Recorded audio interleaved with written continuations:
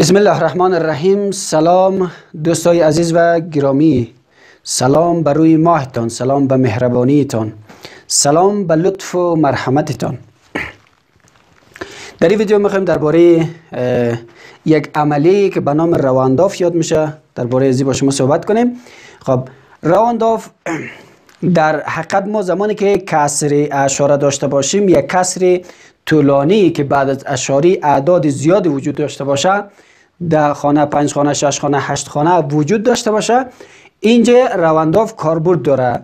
این روانداف ما می‌تونیم دو خانه یا سه خانه ایره کوتاه بکنیم. روانداف به این معنی است که فرض می‌کنیم ما می‌خوایم که بعد از خانه اشاری سه خانه وجود داشته باشه و بعد از او دیگه خانه وجود نداشته باشه. پس به این لحاظ است که ایره مگر روانداف یا قطع کردن یا کوتاه کردن. خب این سه قاعده داره که قاعده اول چه؟ عدد اگر پنج باشه. ما می‌خوایم سه خانه این را انداف بکنیم یا کوتاه بکنیم یا قد بکنیم. خب زمانی که می‌خوایم سه خانه را قد بکنیم یا کوتاه بکنیم خب خانه چهارمی را سیل می‌کنیم. خانه چهارمی رو می‌بینیم که آیا این خانه چهارمی چی عددی هست؟ خب اینجا یا عدد پنج است یا کوچک از پنج است یا بزرگ از پنج. این سه عدد ما در نظر می‌گیریم. خب اگر خانه چهارم یا رقم چهارم پنج باشه. عدد ما قبل پنج ما نظر می‌کنیم. می‌بینیم عدد ما قبل پنج اگر جفت بود. ببینید اگر جفت بود صرف نظر میشه. اینه فقط نوشته میشه سه اشاره هفت دو چهار خلاص. دیگه کار نداره. خب حال اگر عددی قبل از پنج. خانه سوم. رقمی سوم اگر تاق بود. رقم سوم اگر تاق بود یعنی قبل از پنج یک عددی تاق بود. مثلا در اینجا قبل از پنج عدد هفت است تاق است. ممکنه این عدد کوچیک از پنج باشه ممکنه بزرگ از پنج باشه. زمانی که عدد تاق بود بعد از اون یک واحد سر ازی اضافه می‌کنیم. دیگراش از بین میره. مثلا در اینجا هست که دو اشاره سه چهار هفت. می‌شود سه چهار. خب هفت گفتیم. یک واحد سرش اضافه میشه میشه هشت. دیگراش تمام شد. خب چی میشه؟ این میشه مساوی میشه به سه اشاریه هفت دو چهار. هفت دو چهار. خب چون عدد جفت است دیگه دیگرای صرف نظر میشه. خب اگر پنج بود این دو قاعده وجود داره. خب حال اگر یک عدد بزرگ از پنج باشه یک واحد طرف راست طرف چپ اضافه میشه باشه خب مثلا اینجا بزرگ از پنج. این در صورت بود که پنج باشه. زمانی که بزرگ از پنج باشه این خانه چهارم یا رقم چهارم بزرگ از پنج باشه.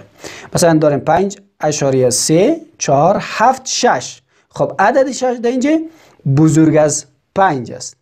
پس یک واحد این طرف اضافه میشه. زمانی که بزرگ از پنج باشه رقم چهارم بزرگ از پنج باشه یک واحد طرف راست اضافه میشه. طرف چپ طرف ما قبل. پس در اینجا ما شکل داریم که میشه پنج اشاریه سه چهار. خب خانه سوم هفت است.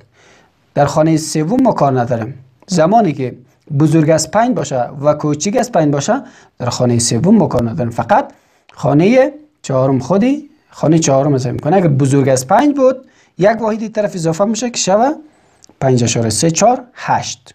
خب اگر خانه یا رقم چهارم کوچیک از چهار بود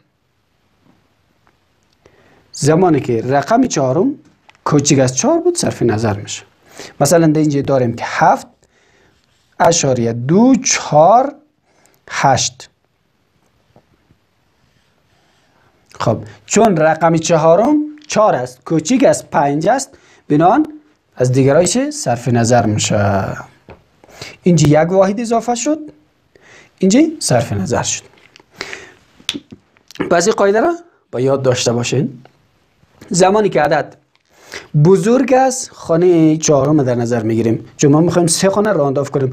چون قانون راندافیه که ما سه خانه رانداف کنیم. یعنی به شکل استاندارد چه اگر نه ما می‌تونیم که دو خانه رانداف بکنیم. ما می‌تونیم چهار خانه رانداف بکنیم. اما چون اصول استاندارد سه خانه هست سه عدد سه رقم است. پس ما می‌خوایم سه رقم رانداف بکنیم. پس رقم چهارم سعی می‌کنیم. رقم چهارم اگر بزرگ از پنج بود یک واحد طرف اضافه میشه. اگر رقم چهارم کوچیک از پنج بود صرف نظر میشه. خب در اینجا رقم چهارم 6 هسته یک واحد این طرف اضافه میشه 5 اشاره 3 4 8 در اینجا رقم چهارم 4 هسته یعنی کوچیک از 5 هسته بنان صرف نظر میشه. نوشته می‌کنیم 7 اشاره 2 4 8 امیدوارم که چیز رو یاد گرفته باشین. خداحافظ.